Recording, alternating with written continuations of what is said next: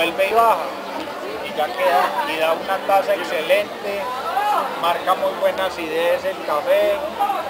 Para mí es de los mejores métodos que hay de preparación de café.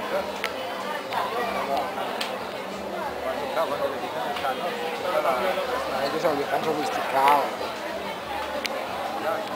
Hay que aprender un poquito para poder echar el cuento. Por ahí vino su hijo y me compró café y todo y animado. Y el mes que para llevarle al jefe, no sé qué, siempre es bueno que lamba un poquito. Este jefe no me gusta el maestro, entonces cuando me abren la cooperativa, yo como que lo voy sí, ¿Y este de dónde es? San Pablo. para yo. ¿no?